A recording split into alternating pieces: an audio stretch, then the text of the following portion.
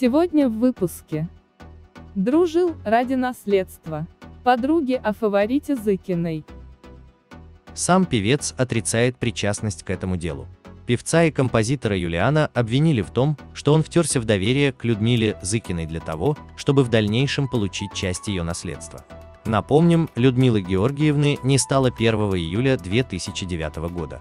После смерти артистки встал вопрос, кому достанется ее имущество. Речь шла об апартаментах, автомобилях, произведениях искусства и накоплениях в иностранной валюте. Ходили слухи, что часть наследства покойной звезды перешла ее фавориту Юлиану. Певец и артистка познакомились абсолютно случайно.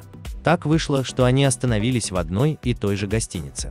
Однажды Зыкина заметила исполнителя в коридоре и предложила ему попробовать домашние котлеты. Молодой человек не смог отказаться. После этого Юлиан и Людмила Георгиевна начали общаться. Зыкина сильно полюбила артиста. Она относилась к певцу как к родному сыну. После кончины исполнительницы хита «Течет река Волга» композитор заявил, что не имеет отношения к ее имуществу. Однако подруги Зыкиной считают по-другому, передает НТВ.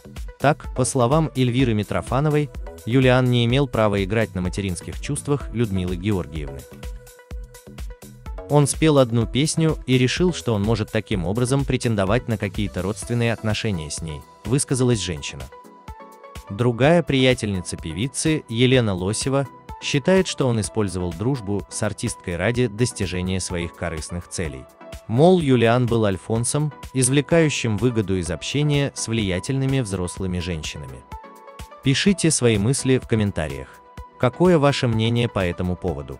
Что вы сами думаете об этом? Спасибо большое за просмотр.